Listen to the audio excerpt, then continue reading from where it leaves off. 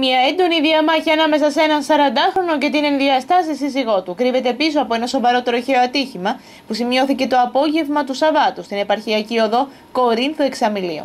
Σύμφωνα με πληροφορίες για την συγκεκριμένη υπόθεση, έχει συλληφθεί ο 40χρονο και σε βάρος του έχει σχηματιστεί δικογραφία για απόπειρα ανθρωποκτονίας. Οι ίδιες πηγές ενημέρωσης αναφέρουν πως ο 40χρονο κατά δύο και με το αυτοκίνητό του την 30χρονη, που με όχημά της προσπαθούσε να ξεφύγει. Σε κατάσταση αμόκ, ο 40χρονο χτυπούσε συνεχώς το όχημα της 30χρονη, με αποτέλεσμα εκείνη να χάσει τον έλεγχο, να εκτραπεί τη πορεία της και το αυτοκίνητο να ανατραπεί.